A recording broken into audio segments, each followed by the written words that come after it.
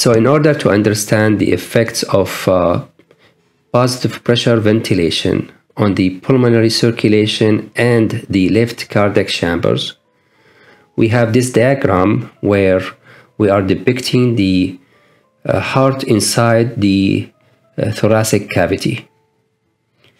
And we have here the left ventricle, the left atrium, pulmonary veins, and aorta.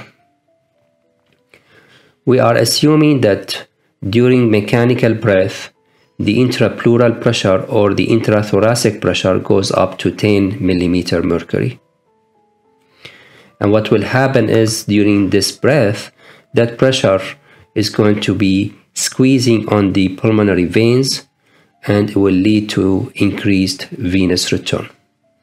This happens in early inspiration and later the venous return will go down as a result of decreased stroke volume of the right ventricle during inspiration. It will take two to three heartbeats before this effect is seen on, uh, on the left side. The second effect is the transmural pressure. And we are assuming that we have intraventricular pressure of 90 millimeter mercury. With this intrathoracic pressure of 10, 10 millimeter mercury, the transmural pressure will be 90 minus 10. That will give us lower transmural pressure than if uh, the intrathoracic pressure was zero. So that is uh, decreased tension on the left ventricle, or in other words, decreased afterload. The third effect of mechanical ventilation on the uh, uh, work of the heart is through the difference between intrathoracic uh, pressure and extrathoracic pressure within the circulatory system. So we have a pressure inside the aorta of 90. However, we have additional 10 millimeter mercury from outside. This will give us a pressure of 100. And the pressure outside is 90 millimeter mercury. That will create a gradient between the intrathoracic aortic pressure of 90 plus 10 minus the extrathoracic circulatory system pressure. This difference of 10 millimeter mercury will be helping out in decreasing the afterload on the heart. So the effects can be summarized. In number one, we have an increased left ventricular preload in early inspiration.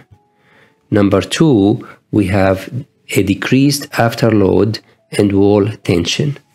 And number three, we have a decreased afterload because of the pressure gradient difference. And in these graphs, we will see the uh, uh, effects on the left side over time.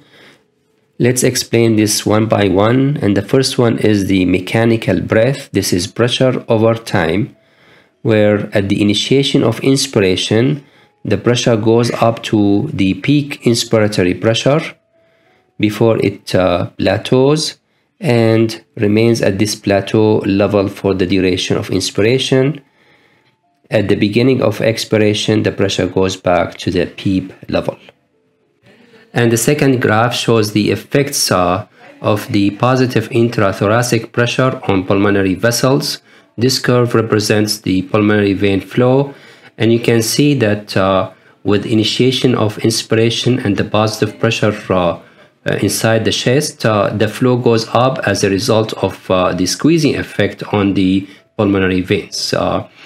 And then after it goes up, it starts to go down gradually as a result of the uh, decreased uh, right ventricular output. Uh, this will lead to a decrease in the flow in the pulmonary veins. However, it will take at least two to three heartbeats to reach the left side. This may be uh, at the end of inspiration or it may be delayed further uh, during expiration. Uh, it really depends on the, uh, the flow through the pulmonary vessels. The third graph here represents the effects on the left ventricle You uh, see here the first one is the left ventricle stroke volume. The second one is the left ventricle afterload. And the third one is the left ventricle preload. The uh, left ventricle preload is similar to the uh, pulmonary vein flow where uh, you see that uh, the preload is increased in early inspiration. However in late inspiration it will go down lower. The afterload is decreased as a result of the gradient between intrathoracic and extrathoracic structures. In addition to the decreased transmural pressure and tension on the ventricular wall. This decreased afterload is remained throughout inspiration. As a result of these two effects here, the stroke volume will be higher in early inspiration.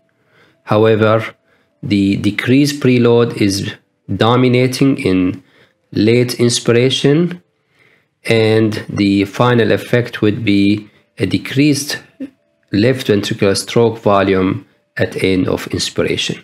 The fourth graph here represents what's happening on the blood pressure.